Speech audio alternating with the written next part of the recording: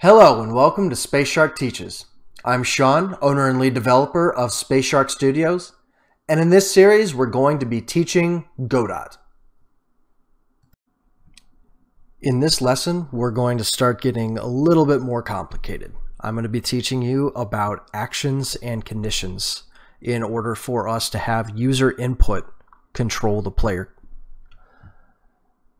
So just like before, we have the character, we have our player, we can play, here's our speed. Let's go into the script. Right now, all we have is a speed made into a vector that sets an axis velocity. We want more than that, however. We want the player to be able to control the player. We do that using something called an action. Drag action out here. You can see actions actually have a bunch of UI inputs. So ignore the fact that it says UI. Think of it more like accept is your enter key. Down, left, right, up. Those are all of your arrow keys on your keyboard. That sounds like exactly what we need. So let's go ahead and do right because the character is going to the right anyway. Next up, we actually need to use something called conditions or conditionals, depending on which system you're using. Here they call it conditions. This is a if X, do this, otherwise do this. In this case, X is going to be a Boolean, which means a true or false.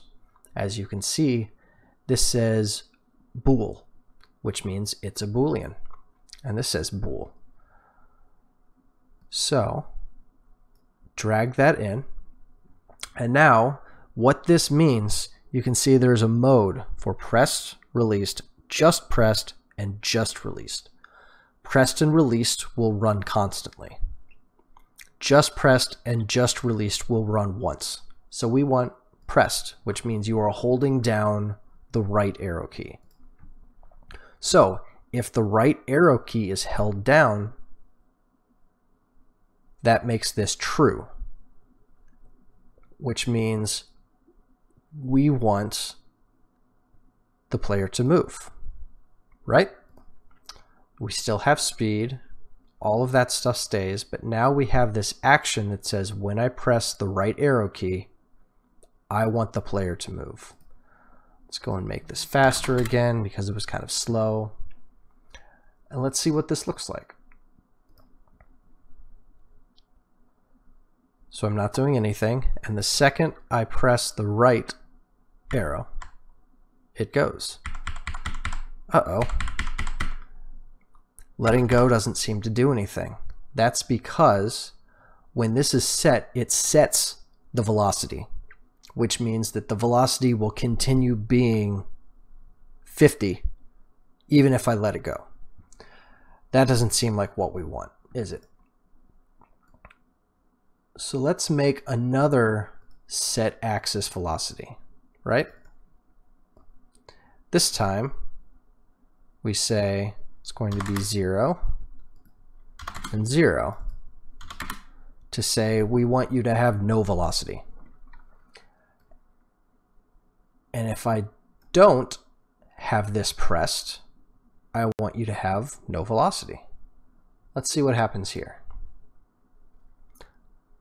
And when I press it, it goes. When I release it, nothing happens. So the reason why this is happening is because we're actually using this wrong. Speeds up a bit. The way that we're using this wrong is we're setting a velocity on something that is actually meant to use forces because a rigid body is like think a basketball or a soccer ball. You don't make a ball roll on the ground by yelling go 10 miles an hour. You do it by kicking it. As you can see, we actually have apply impulse, add force. Kicking it would be what happens in this case. So let's go ahead and say, all right, every time I've just pressed right, I want you to go right in whatever this is. Just ignore offset for now. So now every time I press right once, it should nudge it like it's a ball.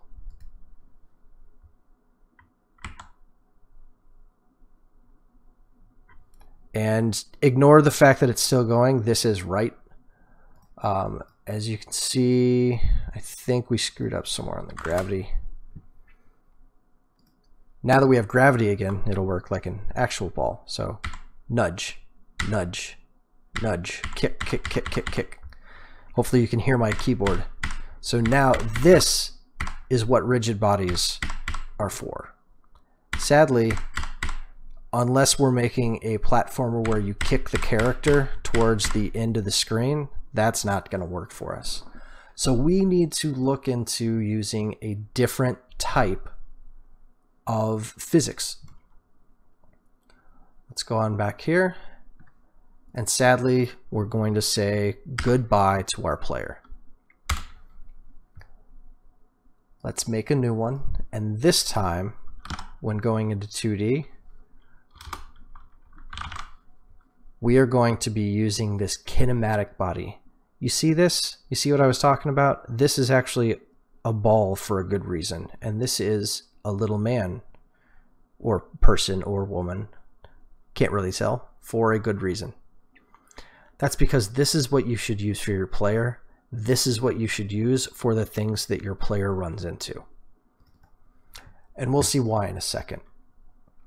So I'm going to go quickly at this. Feel free and pause for a while so that you can add everything here. Once again, I'm going to add the sprite.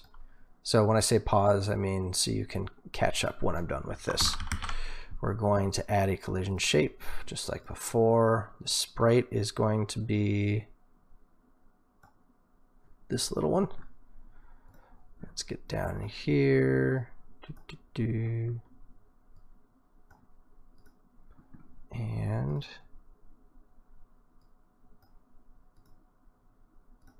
should probably center that.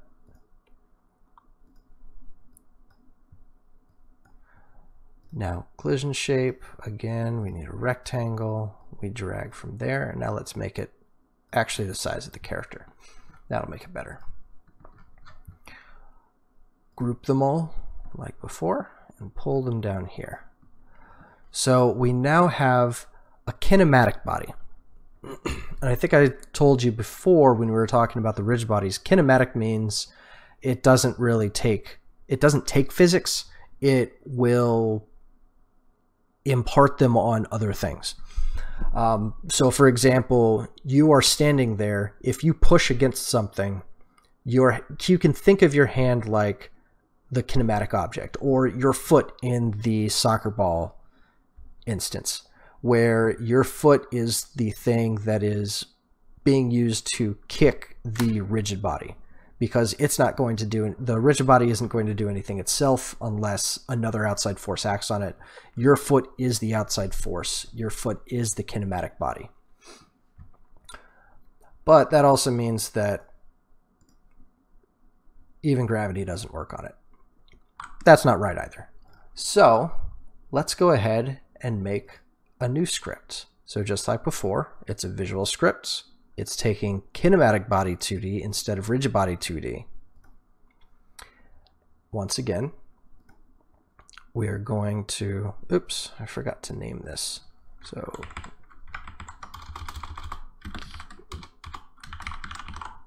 kinematic player.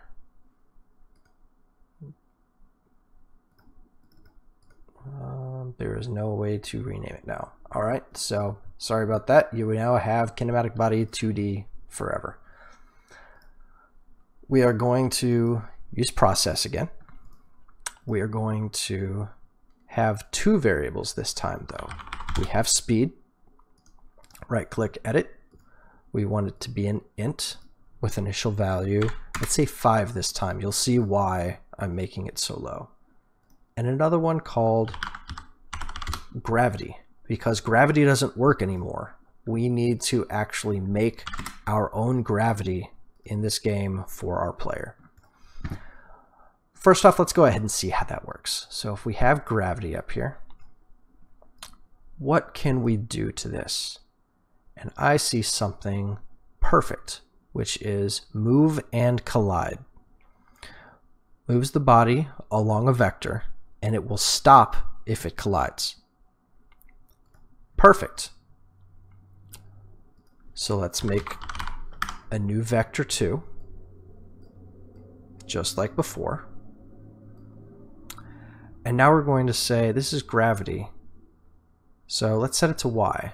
And I want to point out something interesting about Godot when it, as it pertains to 2D. Gravity is 5 here. Off the top of your head, that just seems fine until you realize that 5 should be moving up.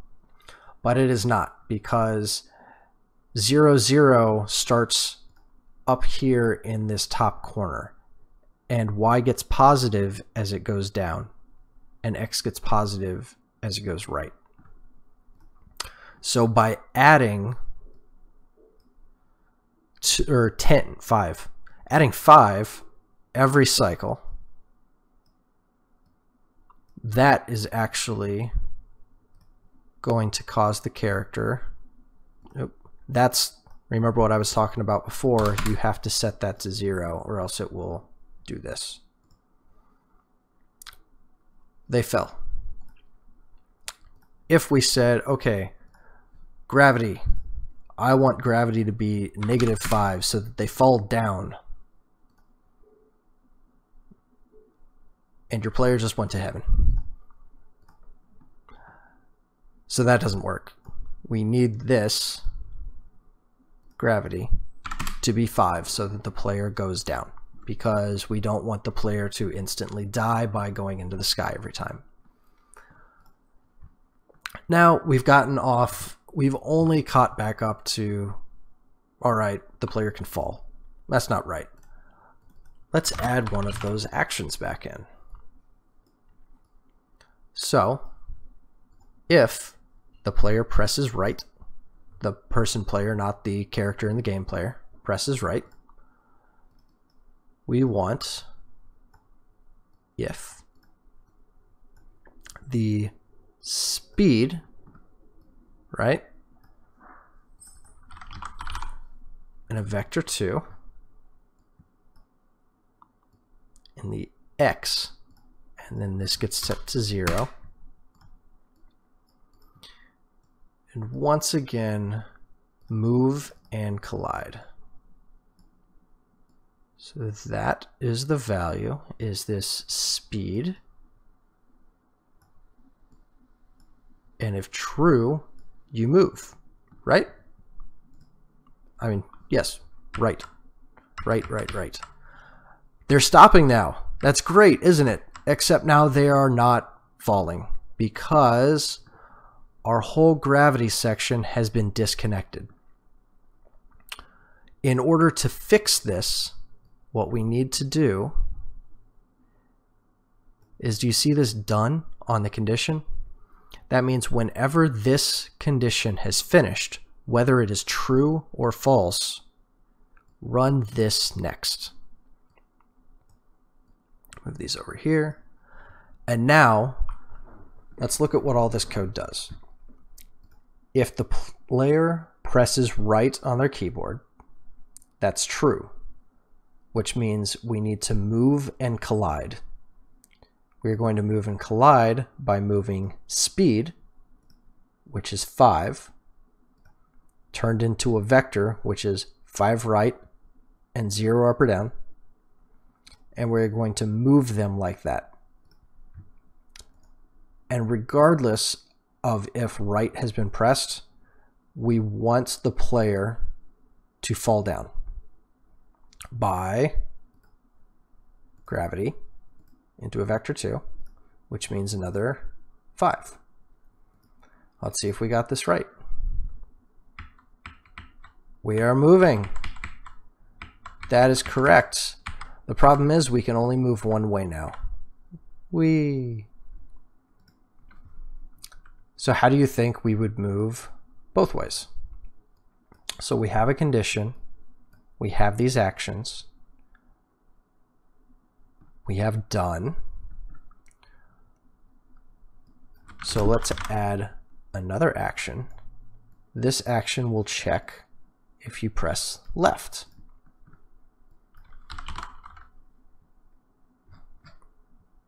And we will add another